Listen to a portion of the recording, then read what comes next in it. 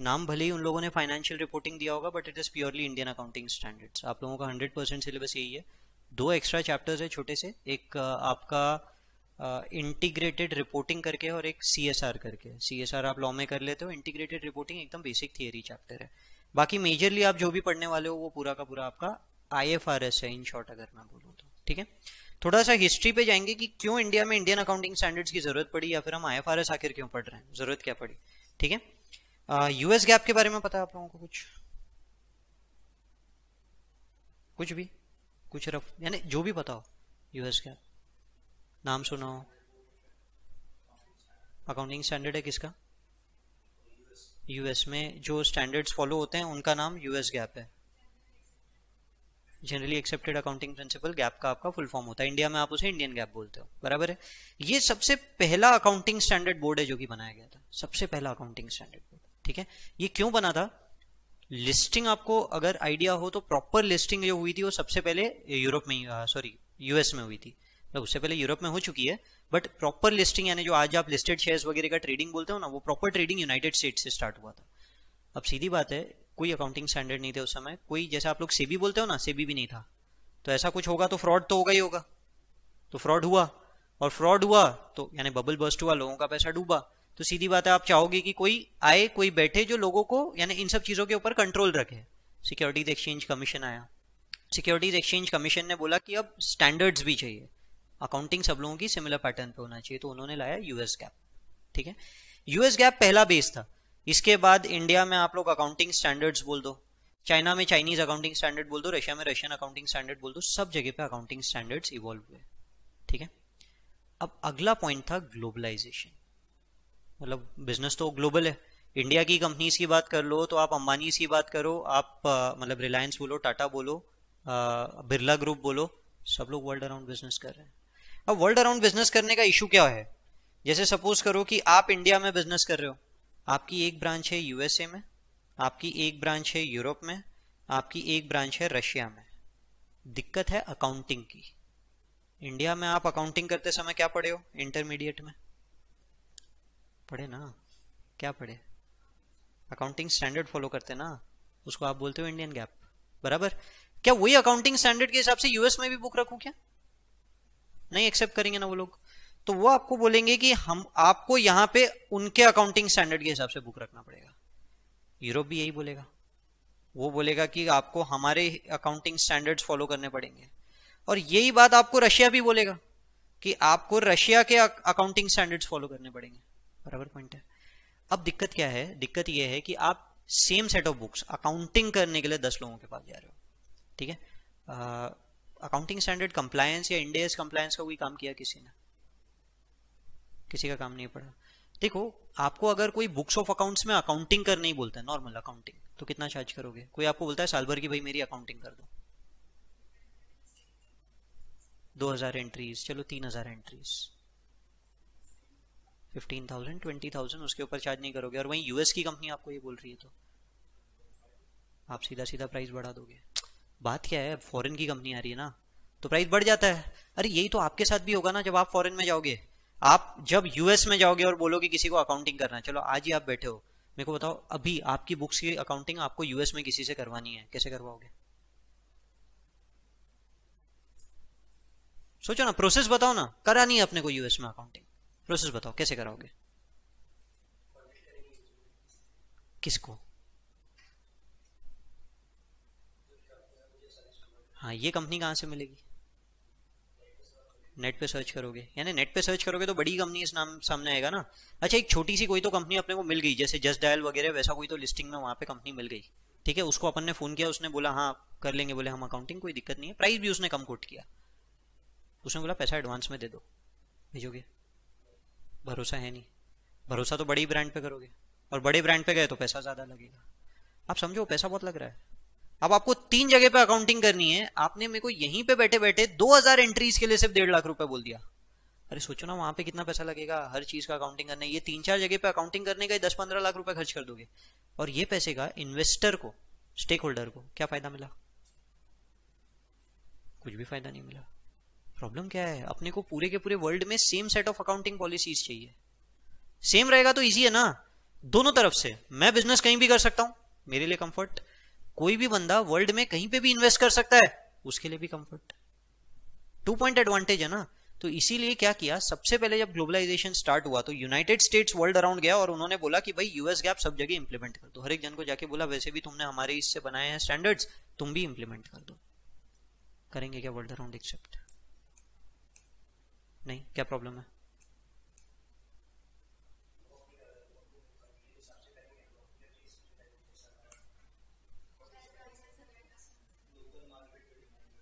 Flexibility फिर भी आ सकती है। दिक्कत नहीं है। यहाँ दिक्कत कुछ और थी। दिक्कत थी दुश्मनी की। चाइना एक्सेप्ट करेगा क्या यूएस क्या रशिया करेगा क्या एक्सेप्ट नहीं करेगा। ये दो तो वैसे ही कट हो गए। बड़े जाइंट्स कट हो गए। तो एक्सेप्टेबिलिटी थी नहीं। तो अब क्या हुआ? अब एक नई बॉडी चाहिए थी। यूएस गैप नहीं आ सकता। नया अकाउंटिंग स्टैंडर्ड चाहिए जो वर्ल्ड अराउंड इंप्लीमेंट हो। आपकी बात सही है कि भाई सर बोले, हर एक का मार्केट अलग है। चाइना की अगर हम बात करें तो काफ़ी हद तक कम्युनिस्ट है। इंडिया की बात करें तो डेमोक्रेटिक है। अब हर एक जन अपने अपने हिसाब से चल रहा है तो अरे पर फ्लेक्सिबल अकाउंटिंग स्टैंडर्ड बन सकते हैं, दिक्कत नहीं है। ठीक है? तो अब इन्होंने क्या किया? एक ट्रीटी साइन हुई 1973 के करीब करीब की बात है। एक ट्रीटी साइन हुई, उसमें ऑस्ट्रेलिया था, कुछ 11 कंट्रीज़ थी यूरोप वगैरह सब थे। इन्होंने अपना हेड ऑफ़िस बनाया लंदन में। और लंदन में बैठ के इन्होंने बोला, अब हम ऐसे अकाउंटिंग स्टैंडर्ड बनाएँगे जो वर्ल्ड अराउंड हर एक कंट्री एक्सेप्ट कर सके। इस ट्रीटी में यूएस नहीं बैठा था। पर बॉडी जो लोग आए थे, वो यूएस से ही आए थे। वैसा था। पॉइंट समझे? अब हुआ क्या? इन्होंने बुलाए world around politicians economist businessman हर पॉसिबल बंदे को बुलाया और ऐसे अकाउंटिंग स्टैंडर्ड बनाने थे जो फ्लेक्सिबल हो। कोई भी कंट्री एक्सेप्ट कर सके।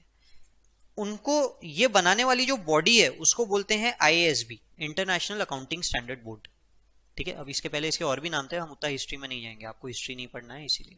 ठीक है? इसने बनाए क्या? IFRS International Financial Reporting Standards इन स्टैंडर्ड्स के नाम क्या क्या है? I A S one I A S two ऐसी इन्होंने पूरी की पूरी सीरीज़ बनाई। इस सीरीज़ में अब कुछ स्टैंडर्ड्स के नाम आई एफ़ आर एस से भी है। I F R S one I F R S two ऐसी पूरी की पूरी सीरीज़ बनाई। जैसे आपने A S one S two पढ़ा है, वैसी कहानी है। ठीक है? अब ये स्टैंडर्ड्स ये लोग लेके गए वर्ल्ड अराउंड हर कंट्री के पास कि आप लोग एक्सेप्ट कीजिए ताकि वर्ल्ड अराउंड सब लोग सेम सेट ऑफ़ बुक्स रख सके। समझ गए? बहुत सारे लोगों ने अडॉप्ट कर लिया। ऑस्ट्रेलिया ने अडॉप्ट कर लिया। ठीक है? अब अडॉप्शन का बेनिफिट क्या है? वो तो आप समझ गए। ग्लोबल बिज़नेस सब जगह सेम सेट ऑफ़ अकाउंट पर जो एक्सेप्ट कर रहा है, वहाँ भी वही बुक्स चलेगी ना? तो पूरे वर्ल्ड में 130 कंट्रीज़ ने अभी तक एक्सेप्ट या कॉन्वर्ज कर लिया ठीक है? इंडिया कॉन्वर्ज किया है। अभी मैंने आपको सिर्फ़ इंटरनेशनल अकाउंटिंग स्टैंडर्ड्स के बारे में बताया। अब मैं आपको इंडियन अकाउंटिंग स्टैंडर्ड्स की कहानी की तरफ़ लेके जाता हूँ। 2015 से इंडियन अकाउंटिंग स्टैंडर्ड्स की स्टोरी स्टार्ट हुई। ठीक है? हाँ आपका अटेम्प्ट कब है? मे ट्वेंटी है। चलिए ठीक है तीन लोग मे ट्वेंटी है। कोई नहीं। आ, आपको एक स्टैंडर्ड एक्स्ट्रा पढ़ना पड़ेगा शायद आया तो। इंश्योरेंस का भी स्टैंडर्ड रिवाइज हुआ है इसीलिए। बट मोस्टली बाकी के तो कॉमन ही है। अब देखो ये पूरी की पूरी स्टोरी में जब इंडिया 2015 में आया 2015 यानी कि हम लोग रफली उस समय की बात कर रहे हैं जब बीजेपी डोमिनेंस में आया और उसके पहले का डिफरेंस क्या है? देखो पॉलिटिकल व्यू पॉइंट हमेशा ध्यान में रखो। मैं ये नहीं बोल रहा कौन सी पार्टी अच्छी है कौन सी पार्टी खराब है। कांग्रेस जब आया तो कांग्रेस को ग्लोबल वर्ल्ड, ग्लोबली क्या चल रहा है, उससे कोई लेना देना नहीं था। कांग्रेस इज़ लाइक हम इंडिया में बैठे हैं, इंडिया में बिज़नेस कर रहे हैं, इंडिया में ही सब कुछ चल रहा है, और अच्छे से चल रहा है। We are self satisfied clear है यहाँ तक के। तो उस समय चार्टर्ड अकाउंटेंट्स भी अच्छा खासा पावर में होते थे। ठीक है? यानी अपनी बात सुनी जाती थी। वैसी वाली कहानी है। आईएफआरएस आया। अब आईएफआरएस आया तो सोचो आईएफआरएस मतलब आपके एएस से टोटली अलग है। आपने जो भी इंटर में पढ़ा है ना, उससे टोटली अलग है। ठीक है? अब आप सोचो, आप सीए बन गए। 20 साल से आप प्रैक्टिस कर रहे हो और अब डायरेक्ट टैक्स कोड लाया जा रहा है। एक्सेप्ट करोगे? नहीं करेंगे। मजबूरी में कर लेंगे, पर जहाँ और आपके हाथ में मैं पावर दे दूँ तो आप आने दोगे? आप आने नहीं दोगे। यही हुआ। चार्टर्ड अकाउंटेंट्स ने आने नहीं दिया।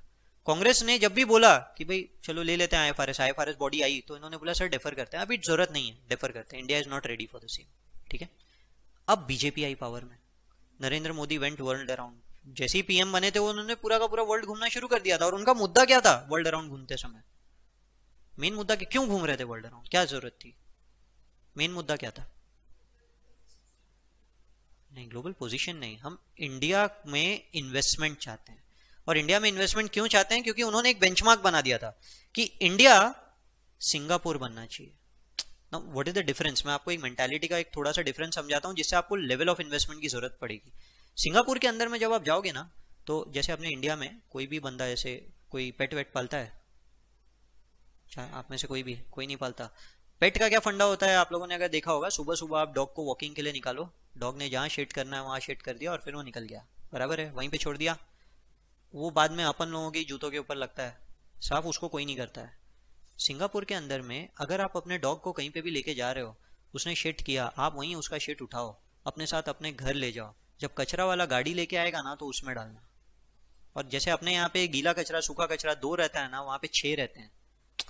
मेंटालिटी का डिफरेंस लेवल ऑफ़ क्लिनलीनेस का डिफरेंस ट्रांसिट का डिफरेंस वहाँ पे अगर आपको कार लेना है तो ऑलमोस्ट कार का जितना प्राइस है ना, उतना तो आपको आरटीओ टैक्स भरना पड़ता है। यहाँ पे इतना नहीं है। तो वहाँ लोग कार नहीं खरीदते, वहाँ पे लोग मेट्रो में ही घूमते हैं। पॉइंट क्या है? पॉइंट है कि हमको डेवलपमेंट उस लेवल पे चाहिए। ठीक है? अब वो लेवल का डेवलपमेंट इंडिया में लाने के लिए सबसे पहले आपको वो लेवल का इन्वेस्टमेंट चाहिए। आप लोग जब मेट्रो वगैरह का काम देख रहे हो तो इसके लिए बहुत भयानक लेवल का लोन लिया गया है। लोन अब सिर्फ़ लोन नहीं चाहिए। इंडिया में कर रहे लोग जो बिज़नेस कर रहे हैं, उनको भी इन्वेस्टमेंट चाहिए। इंडिया में बिज़नेस डेवलप करना है ना, ऐसा थोड़ी कि सब कुछ बाहर से ही खरीद के लाएँगे। ये तो आपको पिछले तीन चार साल से दिख रहा होगा कि हम लोग सब कुछ बाहर से ला रहे हैं। उसके पहले तो मेक इन इंडिया का कॉन्सेप्ट रन करने की कोशिश की गई थी। हुआ नहीं सक्सेस दिक्कत वो हो गई थी। ठीक है? तो अब पॉइंट क्या है? आपको इंडिया में अगर इन्वेस्टमेंट चाहिए तो इंडिया में इंडिया की कंपनीज़ के ऊपर भरोसा करना ज़रूरी है। भरोसा कैसे लाओगे?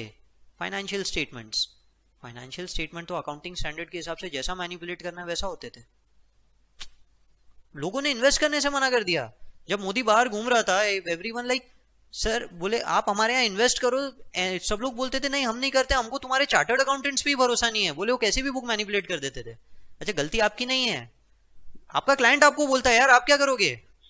है कि नहीं? वो बोलेगा, मैं नहीं भरता टैक्स तो आप क्या करोगे? मजबूरी वैसी है अपनी भी। तो अब यार, यहाँ बुक्स ऑल्टर होते हैं, पैसा आ नहीं सकता। सीधी बात है, मोदी जी को गुस्सा आना था अपने ऊपर, वो गुस्सा दिखाया भी उन्होंने बाद में डिमोनेटाइजेशन के समय हमने देखा वो। ठीक है? अब आगे जब ये कहानी बढ़ती है तो इसमें क्या हुआ? उन्होंने बोला कि आप किस चीज़ पे भरोसा करते हो? उन्होंने बोला, हमें आईएफआरएस पे भरोसा है। आप इंडिया में आईएफआरएस ला दो। ही केम इन इंडिया आपको आई अडॉप्ट करना है। चार्टर्ड अकाउंटेंट्स ने मना किया, उन्होंने बोला, अगर आप रेडी नहीं हो, हम सी एस को भी पावर दे देंगे। अब यार, अपन अपने हाथ से पावर थोड़ी जाने देंगे। अपने बोला, नहीं, ठीक है, चलो, हम एक्सेप्ट करते हैं। पर इस पॉइंट पे एक दिक्कत थी कि आप 100 परसेंट अडॉप्ट नहीं कर सकते। अडॉप्शन क्या हुआ? मैं वही नंबर रखूँगा I S one two seven जो उनके नंबर है, वही मैं रखूँगा। पर हर चीज़ 100 परसेंट वैसी नहीं हो सकती है। एक स्टैंडर्ड है आई एस फोर्टी उसको बोलते हैं इन्वेस्टमेंट प्रॉपर्टी इन्वेस्टमेंट प्रॉपर्टी में रिवैल्यूएशन मॉडल अलाउड है। इन्वेस्टमेंट प्रॉपर्टी मतलब मैंने कोई ज़मीन खरीदी और उस ज़मीन का मेरे को रिवैल्यूएशन अलाउड है।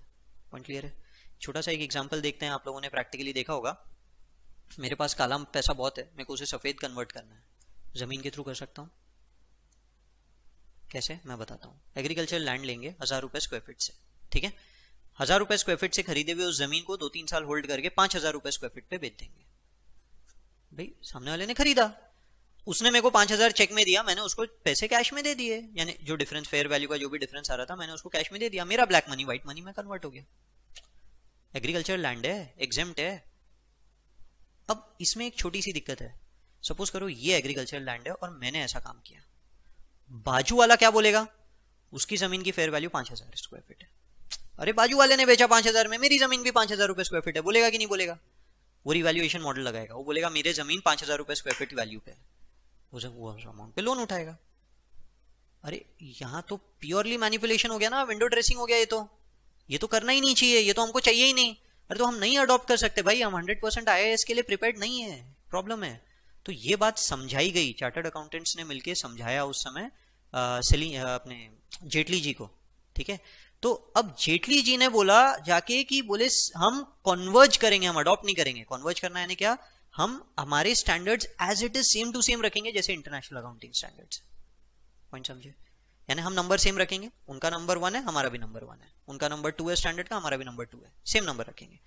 पैरा नंबर भी सेम रखेंगे. जैसे आप इनकम टैक्स में सेक्शन नंबर पढ़ते हो, यहाँ पैरा नंबर्स होते हैं. पैरा नंबर भी सेम रहेंगे, पर जो पैरा हमको एक्सेप्ट नहीं करना है, वो पैरा हम ब्लैंक छोड़ देंगे. जैसे पैरा थ्री में सपोज़ करो लिखा हुआ है रिवैल्यूएशन मॉडल हमको नहीं चाहिए revaluation model para three will be blank para two के बाद सीधा पैरा फोर आ जाएगा. समझ गए? अब नाम सेम नहीं रख सकते। तो इसलिए उनका आई है, अपना इंडिया है। वहाँ I S one upon India S one I S two upon India S two clear है यहाँ तक क्या? समझा कैसे नाम आया? बाकी सब कुछ सेम है। अब इंडिया में बैठी हुई कंपनी इसको क्या करना है? इंडिया में बुक्स इंडिया के हिसाब से बनाओ।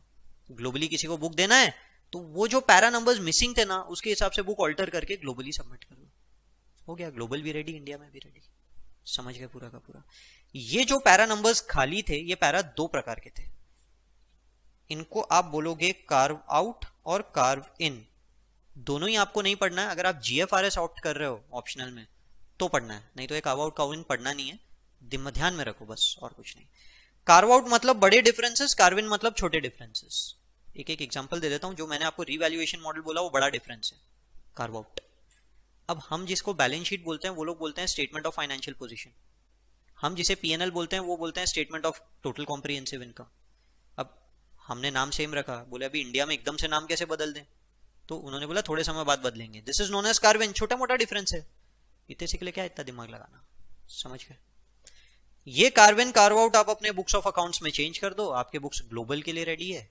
ये आपने नहीं किया, आप इंडिया के लिए रेडी हो। कोई दिक्कत नहीं है। ठीक है? तो 130 कंट्रीज़ वर्ल्ड अराउंड आप I R S I S adopt करके चल सकते हो। Most of them have convert China ने कॉन्वर्ज किया है ऑस्ट्रेलिया ने अडॉप्ट किया है अफ्रीका ने कॉन्वर्ज किया है रशिया ने कॉन्वर्ज किया है। मैक्सिमम लोगों ने कॉन्वर्ज ही किया है, तीस पैंतीस कंट्रीज़ है जिन्होंने अडॉप्ट किया है। समझ गए? बढ़े आगे। So this is what basically your I F R S is all about ये मैंने यहाँ पे बस एक पहले पेज पे आप लोगों को एक ब्रीफ ओवरव्यू दिया हम ब्रीफ ओवरव्यू के ऊपर ज़्यादा नहीं जाएँगे। यानी ये आपके कोर्स के लिए नहीं है, सिर्फ़ दिखाने के लिए वो। मैं आपको नंबर्स दिखा देता हूँ, फिर उसके बाद में मैं आपका प्रॉपर सिलेबस स्टार्ट कर दूँगा।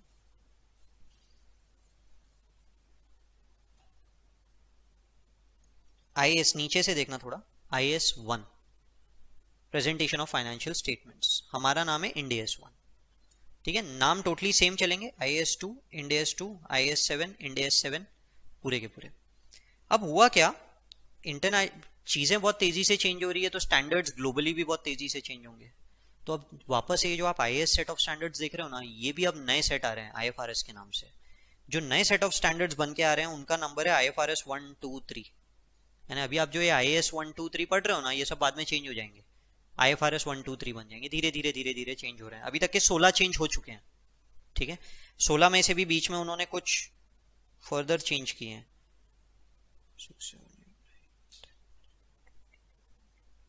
इसमें से ये जो आप 104 देख रहे हो ना इंश्योरेंस इसको ये वापस रिवाइज होके 117 हो गया यानी आईएफआरएस के अंदर भी स्टैंडर्ड उन्होंने रिवाइज कर दिया इतने तेज़ी से चेंजेस हो रहे हैं ठीक है? अब दिक्कत आ रही है नंबरिंग की। तो अपन ने आईएफआरएस की सीरीज़ 100 से शुरू कर दी। इंडेस 101, 102, 103, 104 ठीक है?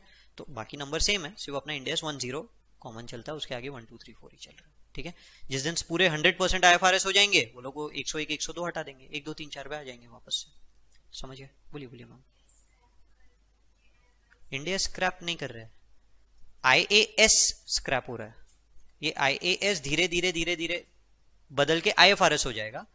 जो आईएएस है, वो हमारे इसमें इंडियस के नाम से Ind AS one two three जो आईएफआरएस है, उसकी सीरीज़ हंड्रेड से स्टार्ट होती है अपने इसमें इंडियस में। ये देखो IFRS one is Ind AS one zero one I two is India one zero two जिस दिन आई पूरे तरीके से खत्म हो जाएँगे, हम इन इंडिया वन ज़ीरो वन को इंडिया वन कर देंगे। सिर्फ़ तब तक के लिए वो। समझ गए? बड़े आगे। गाइडेंस नोट्स थे आप लोगों को? आई में। थोड़े बहुत मैट का था, वो ईसॉप का था, सब गाइडेंस नोट थे। गाइडेंस नोट कभी कंपलसरी नहीं होते, ठीक है? आपके ऑप्शन पे होते हैं। अब गाइडेंस नोट क्यों आते हैं? जब कोई स्टैंडर्ड आता है और कोई स्पेसिफिक इशू छूट जाता है तो उसके ऊपर गाइडेंस नोट आ जाता है। पॉइंट क्लियर है? तो वैसे ही जब आईएफआरएस बने आई बने तो उनमें भी कोई बात छूट गई। तो उसके गाइडेंस नोट्स आए। उनके नंबर्स क्या थे? ये S I C I A S में बोल रहा हूँ मैं।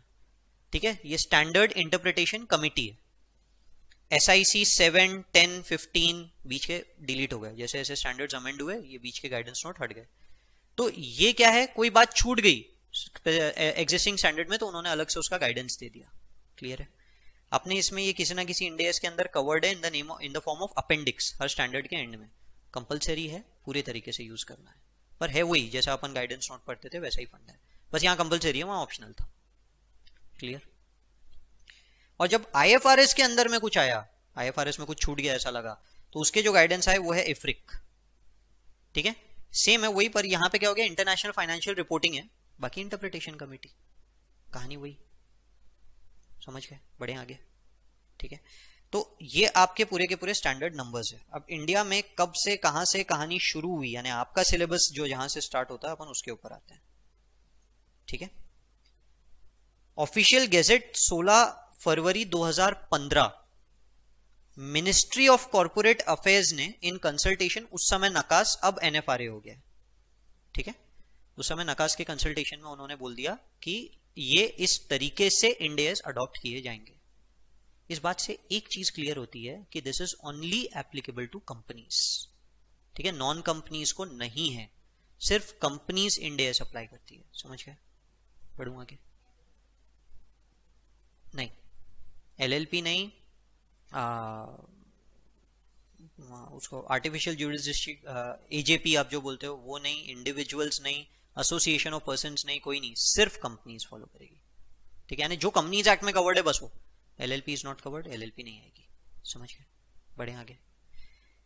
अब इन्होंने क्या किया? इन्होंने बोला, पहला फ़र्स्ट अप्रैल 15 ऑनवर्ड्स ठीक है ना, ये कंटिन्यूएशन में रहेगा हमेशा। फ़र्स्ट अप्रैल 15 ऑनवर्ड्स किसी की अगर इच्छा है तो आप इंडियस खुद से अडॉप्ट कर ले। ठीक है? क्रॉम्पटन ग्रीव्स एक कंपनी थी, जिसने इसे सेल्फ अडॉप्ट किया था। तीन चार ही कंपनीज़ थी, जिन्होंने उस समय अडॉप्ट किया था। वन ऑफ़ देम वो ठीक है? फ़र्स्ट अप्रैल 16 ऑनवर्ड्स यहाँ से आपका मेन टाइमलाइन शुरू हुआ, यहाँ से आपका पहला फ़ेज़ शुरू होता है। उन्होंने बोला, हर वो कंपनी जिसका नेटवर्थ 500 करोड़ या 500 करोड़ से ज़्यादा है नेटवर्थ 500 करोड़ या 500 करोड़ से ज़्यादा है, उसे इंडियस लगाना पड़ेगा, चाहे वो लिस्टेड कंपनी हो, चाहे वो अनलिस्टेड कंपनी हो। समझ गए? एक अप्रैल 16 के बाद से, यानी कोई भी डेट को, यानी सपोज़ करो कि मैं चेक कर रहा हूँ तीस अक्टूबर को तो वैसे, अभी नेटवर्थ कब का देखना वो बाद में बताऊँगा।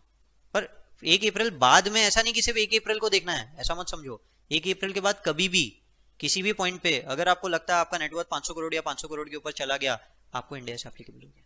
चाहे आप लिस्टेड हो, चाहे आप अनलिस्टेड हो क्लियर है यहाँ तक है। और आपको हो गया तो आपकी होल्डिंग सब्सिडियरी जेवी एसोसिएट सबको एप्लीकेबल हो गया। पॉइंट समझे? इसके अंदर पहला क्वेश्चन है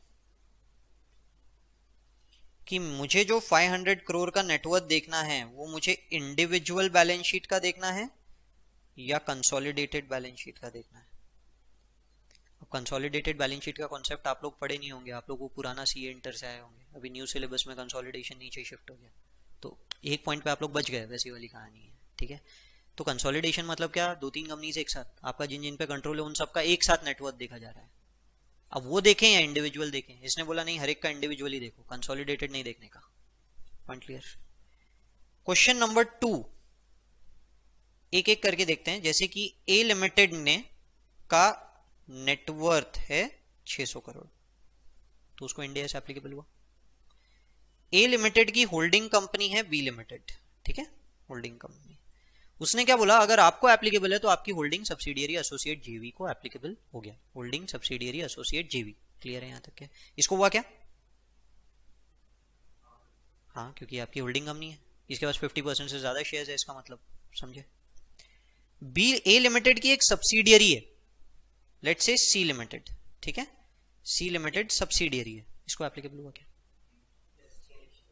इसे भी एप्लीकेबल हुआ। सब्सिडियरी आपके पास 50 से 60 परसेंट शेयर होंगे इसीलिए।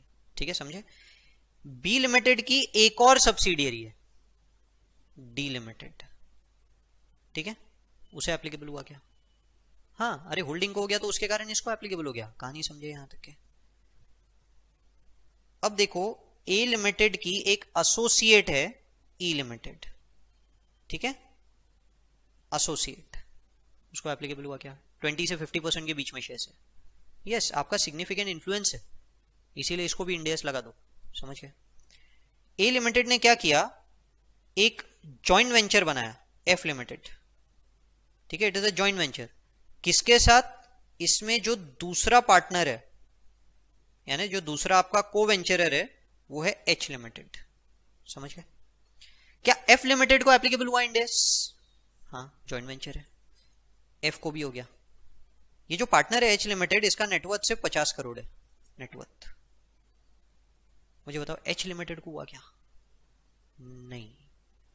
होल्डिंग से सब्सिडियरी सब्सिडियरी से होल्डिंग किसी भी कंपनी से उसकी associate if you are the investor you are the investor आपके कारण आपकी एसोसिएट हाँ पर आपके एसोसिएट के कारण आपको नहीं होगा। पॉइंट समझे? एसोसिएट को अगर इंडेस लग रहा है, आपको अगर नहीं लग रहा, उसके कारण आपको नहीं लगाएँगे। पर आपको अगर इंडेस लग रहा है यू आर द इन्वेस्टर आपके कारण अगर एसोसिएट को इंडेस नहीं भी लग रहा होगा तो लगाएँगे। क्यों? क्योंकि डेफिनेशन बोलता है होल्डिंग को कवर करो सब्सिडियरी को कवर करो ज्वाइंट वेंचर को कवर करो एसोसिएट को कवर करो। दो पार्टीज़ है, एक इन्वेस्टर एक एसोसिएट है। सपोज़ करो मैं एसोसिएट हूँ, आप इन्वेस्टर हो। समझ गए? आपका नेटवर्थ 600 करोड़। आपको इंडेस लगा क्या? Yes yes. मेरा नेटवर्थ 200 करोड़। मुझे इंडेस लगा क्या? हाँ? अरे, पर मेरा 500 करोड़ नहीं है ना सर एसोसिएट हूँ इसलिए। समझे ना यहाँ तक कहानी? उल्टी कहानी सोचो। मेरा नेटवर्थ 600 करोड़। मुझे इंडेस लगा क्या? हाँ। आपका नेटवर्थ 50 करोड़। आपको इंडेस लगा क्या? नहीं। मेरे कारण आपको नहीं लग सकता, आपके कारण मुझे लग सकता है। समझे कि नहीं समझे मुद्दा? बढ़ू आगे तो वही चीज़ यहाँ पे ये समझाने की कोशिश कर रहा है। सेम विद ज्वाइंट वेंचर को वेंचरर्स जो पार्टनर्स होते हैं, उनको ज्वाइंट वेंचर के कारण नहीं लगता। होल्डिंग सब्सिडियरी सबको लगता है एसोसिएट ज्वाइंट वेंचर में ऊपर वाले को नहीं लगता। नीचे जाते जाओगे, लगते चल जाएगा। समझ गए? यानी कि पार्टनर को एप्लीकेबल नहीं है। ठीक है? Not applicable to co-venturer and investor ठीक है? तो लेट से बी लिमिटेड के ऊपर एक और एक कंपनी बना देता हूँ मैं आई लिमिटेड जिसके पास उसके थर्टी परसेंट शेयर है। ठीक है? एसोसिएट हो गई उसकी। ये इन्वेस्टर है। उसको लगेगा क्या? सोचो सोचो। ए लिमिटेड को एप्लीकेबल है। आई को लगेगा क्या? नहीं लगेगा। वो इन्वेस्टर है। पॉइंट समझे कि नहीं समझे? बढ़ू आगे। इसको नहीं लगाएँगे। ये डायग्राम यहाँ तक के बना लो। क्वेश्चन वन क्वेश्चन टू यहाँ तक के पूरा लिख लो। मेरी हैंडराइटिंग थोड़ी खराब है, कोई वर्ड नहीं समझे, मेरे को बता देना आ गया यार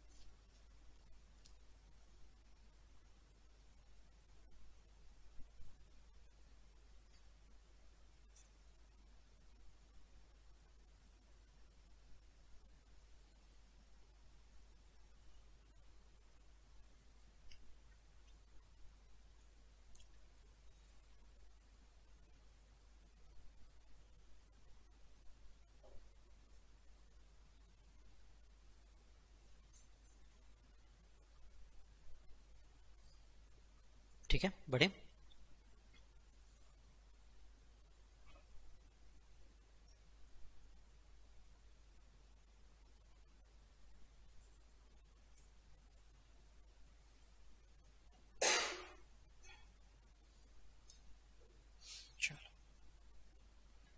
क्वेश्चन नंबर थ्री नेटवर्थ कब का देखना है?